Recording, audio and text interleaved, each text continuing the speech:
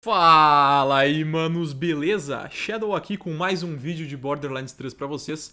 E hoje, guys, um vídeo muito bacana pra trocar uma ideia com vocês sobre o Borderlands Show, que aconteceu hoje, dia 11 de fevereiro. Caras, um Borderlands Show sensacional, velho, o melhor de todos até então, cara. Fevereiro promete, velho muita coisa boa chegando ao jogo, muita melhoria e eu vou estar tá passando tudo aqui para vocês. Lembrando, caso tu queira assistir a live completa do Borderlands Show, é de aproximadamente um pouquinho mais de uma hora, vai estar tá aí na descrição, primeiro link. Então, caso tu queira dar uma olhada, vai estar tá aí embaixo. Tranquilo? Mas como eu falei, mano, é tá muito bacana, cara, e eu acho que vocês vão curtir. Beleza? Então vamos por partes, porque tem bastante coisa para passar aqui. Eu não sei o que eu vou estar tá mostrando de fundo, se vai ser algo das coisas novas que vai estar tá chegando, se vai ser algum gameplay aleatório. Depois eu vejo. Vamos então começar a falar sobre esse hotfix, maluco. Tá muito, muito bacana mesmo. Bom, guys, então a primeira coisa que eles falaram sobre foi o True Takedown Mode. Caso tu acompanhe meus vídeos, tu já tá ligado que eu trouxe isso num dos últimos hotfix, então durante o mês de janeiro a gente teve a, o scale do takedown para ficar mais fácil, né, para a quantidade de players na sala. Porém, o True Takedown Mode tá chegando aí para trazer de volta, né, a dificuldade difícil, né? É, o takedown vai continuar sendo da dificuldade que está hoje, então bem tranquilo de completar. Porém, caso tu queira um desafio de verdade, tu vai ter a opção, né? Que é, no caso, o takedown era para ser dessa forma, devido ao não vou dizer o hate, né, mas devido à frustração da comunidade, eles fizeram ele mais fácil. Então, para tu acessar o True Takedown Mode, que vai estar tá chegando com o patch de fevereiro, uh, em algum lugar naquela área do takedown vai ter uma alavanca que tu vai puxar e tu vai ativar o True Takedown Mode, ok, guys? Então, ativou a alavanca, tu vai jogar na dificuldade no realista da parada, beleza? No veterano no Only Gods Mode. Sacou? bem bacana mesmo. Continuando aqui então nosso hotfix, a gente vai ter finalmente o aumento do level cap, mano. Chegou finalmente level cap aumentando essa semana ainda, muito bacana. Uh, porém, só 3 levels. Borderlands 3, 3 levels. Então, a partir do dia. Deixa eu ver o dia que eu me esqueci. O dia 13 de fevereiro, ok? a gente vai ter o aumento do level cap, juntamente com a chegada de um evento que eu já vou estar tá falando sobre ele para vocês. Porém, agora então, dia, dia 13 de fevereiro, eu acho que é na quinta, é, quinta-feira, a gente vai ter então o aumento do level cap. Agora então tu vai poder upar até o level 53. Uh, ah, bom, antes que tu fique pistola como eu fiquei por um certo período, só aumentar 3 levels, cara, se tu for ver, é bom, né? No caso é ruim porque não é muitos, mas por que, que é bom? Porque venhamos e convenhamos, né? Pra mim, pra ti que joga esse jogo bastante, com frequência, tu tá terminando ou fechou finalmente a tua build level 50, full anointed, ninguém merece ter que reformar tudo level 61, por exemplo, né? Uh, então ia ser bem frustrante se eles aumentassem muito e aumentar só pro level 53. Bom, a gente vai ter que reformar a build level 53, mas em contrapartida a nossa build level 50 não vai peidar tanto, né, no level 53. Então, eu inicialmente achei bem zoado, mas depois eu acho que se tu for encaixar os cantos, né, encaixar as peças, eu acho que foi bom eles terem feito isso, porque também, né, eles estão priorizando o balanceamento e eu acho que vai ser bom, né? A gente tem que esperar chegar e testar para ver como é que vai ficar esse aumento do level cap. Porém, eu acho que essa foi uma decisão certa, na minha opinião, tomada pela Gearbox. Tranquilo? Bom, guys, eles também citaram um pouco sobre performance e estabilidade do game, nada demais aqui, que eles estão ainda dando improvements, né, no, nos bugs que o jogo tem. No caso, aquele lag quando tu abre o inventário, né, que vem ficando cada update mais uh, menos uh, frequente, né? Então Coisas desse gênero, nada para entrar tanto em detalhes, é aquele update que todo jogo traz, né, para melhorar a performance e etc. Eles também citaram sobre as cutscenes esquipáveis, uma excelente notícia. Eu finalmente irei terminar o jogo de Fleck. Build de Fleck level 53 em breve, guys. Aguardem. finalmente vou poder vou tomar vergonha na cara e terminar o jogo de Fleck. Eu ainda não terminei, podem me zoar. 2020, Marcelo não tem o Fleck terminado a campanha. É nóis. Então, cutscenes skipáveis chegando ao jogo. Uh, não foi citada uma data, mas foi citado que vai vir com o patch de fevereiro. Eu não sei se vai ser nesta quinta-feira ou nas próximas, mas antes do fim do mês vai estar tá chegando as cutscenes esquipáveis. E foi citado aqui que tu vai poder pular absolutamente todas. Todas cutscenes. Absolutamente todas. No caso, se tu estiver jogando solo, e se tu estiver jogando em party, o host vai ter a opção de pular tudo. Tranquilo, mano. Uma, uma excelente notícia.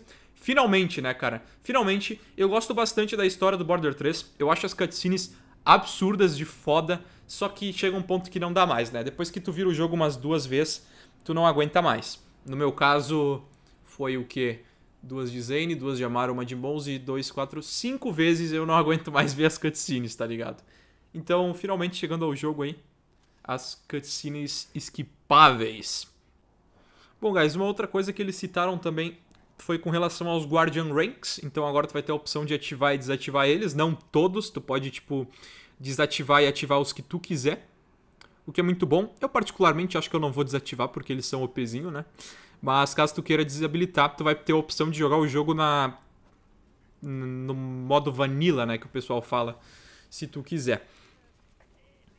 Eles também falaram que eles têm planos de aumentar os Guardian Ranks no futuro com perks adicionais. Então, mais perks chegando ao jogo, eles vão eles disseram aqui que vai ser com a segunda DLC, né? A segunda DLC que vai estar tá...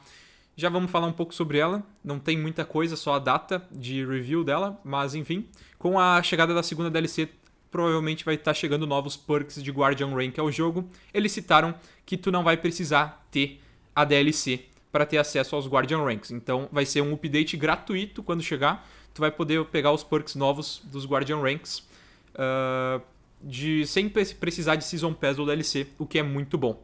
Eles também citaram um pouco sobre ativar e desativar eventos. Uma das principais reclamações do evento de Halloween foi tu termina o evento e tu fica até o fim do, do evento, tipo assim, o evento dura um mês. Aí na metade do mês tu terminou ele, tu quer desabilitar, tu não quer mais aquelas caveiras no teu jogo, tu não tinha essa opção. Tu ficava tomando caveira a porra da noite inteira porque tu não podia desabilitar o evento. Então agora tu vai poder desabilitar o, os eventos, né? Quando tu quiser. Já vamos falar sobre o evento, só vamos terminar aqui de falar sobre os improvements do jogo. Que um deles foi o Fight for Your Life, tá ligado? Quando tu cai no chão e tu fica rastejando. Eles deram uma melhorada nisso também. Bom, então as mudanças que foram feitas com relação ao Fight for Your Life, que no caso não chegaram ao jogo e não vão chegar em fevereiro, foi citado aqui que vai chegar em algum ponto de março, foi basicamente priorizando a experiência co-op. Então, caso tu jogue ou jogou Borderlands 3 em co-op, tu tá ligado que é um câncer reanimar teammate, né? Porque é bugado pra caramba, tu tem que estar tá colado do maluco, daí tu clica, no caso do, não sei no PC, mas no console tu clica o botão não vai, aí tu recarregar, é uma frustração do caramba, né? Então agora aparentemente vai estar tá menos bugado, né? Com esse update em março, tu vai poder rilar o cara com menos dificuldade, então sem precisar estar tão perto, além de que vai poder mais de um player contribuir para o revive de um outro player. Então basicamente, pelo menos tudo leva a crer que quanto mais players reviverem um cara que caiu, mais rápido o cara vai levantar. O que é muito bom, muito bem-vindo. Mais uma vez, esse update do Fight for Your Life chegando em março. Eles citaram também um pouco sobre o Mayhem 2.0, então, mas nada demais, só citaram que ele vai estar chegando em março e que, no caso, uh, bom, não deu para ser bem claro aqui, mas eu achei que inicialmente, pelo menos o que foi passado pra gente, é que o Mayhem 2.0 seria uma remodelação do modo Mayhem. Uh, não tá citado bem claro que vai ser isso, aparentemente vai ser um Mayhem 5 da vida mas vamos ter que esperar para ver. Eu acredito que não. Até o lançamento do Mayhem 2.0 o jogo vai estar tá bem mais balanceado. Ele vem ficando cada vez mais balanceado. E, bom, esperando para ver então. Fight for Your Life Mayhem 2.0 chegando em março. Tranquilo, guys?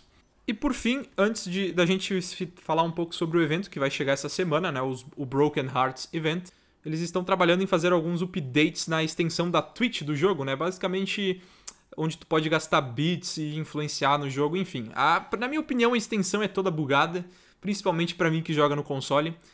Vamos esperar e ver o que, que eles vão fazer, mas nada que impacte no nosso jogo. Então, whatever, tá ligado? E no mais foi isso, guys. Essas foram então os updates que a gente recebeu com essa nota que soltaram hoje, né, dia 11 de fevereiro aqui, e que foi citado no Borderlands Show. Então, mais uma vez, recapitulando, True Takedown Mode, chegando ao jogo, tu vai ter uma opção de acionar uma alavanca lá no Maliwan Black Site e jogar na dificuldade mais ferrada. Aumento do level cap, agora dia dia 13 de fevereiro, quinta-feira, juntamente com o evento que a gente vai estar comentando um pouquinho agora. Então, level cap do 50 para o 53, melhoras de performance e estabilidade do jogo, cutscenes esquipáveis vão estar chegando ao jogo em algum ponto de fevereiro. Não te garanto que vai ser agora dia 13, mas tu vai estar podendo pular todas as cutscenes do jogo. Uh, acionar e desativar Guardian Ranks, então os perks. Tu pode ativar e desativar qualquer Guardian Rank que tu quiser, qualquer perk no caso. E desabilitar e ativar os eventos, assim como em março, então, Mayhem 2.0 e o Fight for Your Life melhorado. Tranquilo? Então vamos falar agora um pouco sobre o evento que chega junto com o aumento do level cap, agora é dia 13, manos. E o nome do evento se chama Broken Hearts Day. É o Valentine's Day, né, mano? A gente não tinha outro evento para ser. Então, do que, que se trata esse evento? Uh, vai ser bem similar ao evento de Halloween, tá? Vai ter aparentemente bônus Anointed novo também.